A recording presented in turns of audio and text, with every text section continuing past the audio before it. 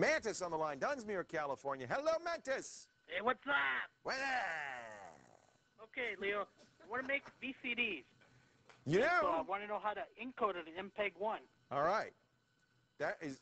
ah, That's a very important question. We did this once before, Mantis, and I frankly blew it.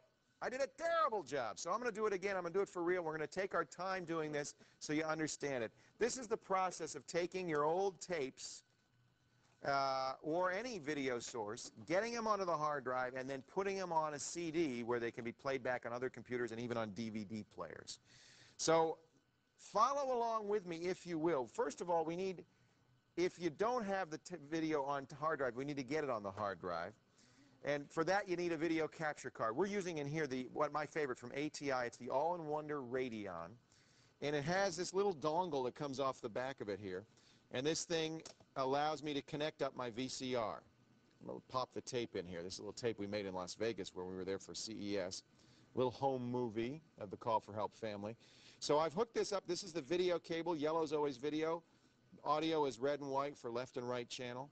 So I've hooked the audio and the video up to this, and it's going to be going into my computer. This is the process we've talked about so many times before called digitization, or converting analog data into bits and bytes. I'll run some software on here. This is the software that comes with the All-in-Wonder, but any video capture card and any software will do. We're going to make an AVI first, Mantis.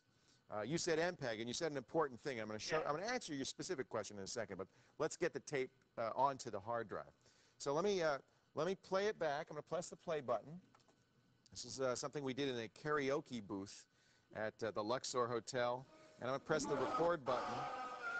Oh my gosh, this is terrible. That's Allison. Uh, there I am. Chris Kraus.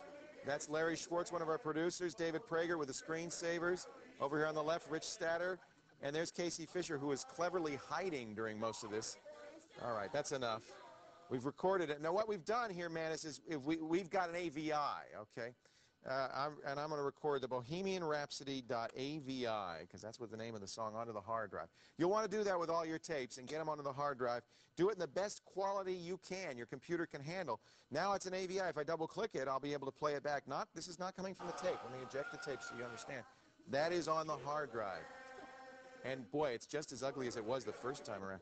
Now, here's the answer to your question, Manus. To make a video, we could just burn those AVI files onto a CD and send it to Grandma and say, Grandma, just double-click them and a Windows Media Player will launch and you can watch them. But that's not very viewer-friendly, right? Is that going to play on a DVD player? Yeah, they will. What we're going to do, we'll play on many DVD, not all, but and I'll explain that in a second, many DVD players.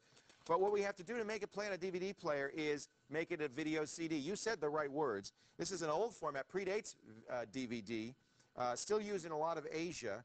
You can get about an hour of video on one standard CD. It'll play back in most computers and many DVD players. But we have to take this AVI and convert it to MPEG. This is, uh, and not just any MPEG-1 format. This is a specific MPEG-1 format that is for VCD. It has to be the right frame rate, the right uh, um, uh, frames per second. I said that. Oh, the right uh, resolution. Here we're going to take that file. I'm gonna, this is a free program, by the way. Uh, we got a link to it on our website, AVI to VCD, and I'm going to press encode. Now, it takes some time. It's going to take a minute or two to do this. We've got 530 frames, and you can see it's going about 10, 20 frames a second. So it's going to take a couple of minutes to convert. So I'll tell you what, this would be a good time to take a break, Manus.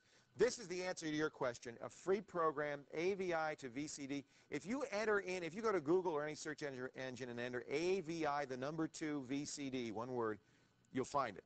Okay, Manus? That's the program that converts it into the right kind of MPEG-1. There's one more step left, and that is going to be a, a CD recording program that can burn these VCD file uh, format files into the right format disk. And we're going to show you how to do that in just a second. But right now, let's take a break while this is encoding.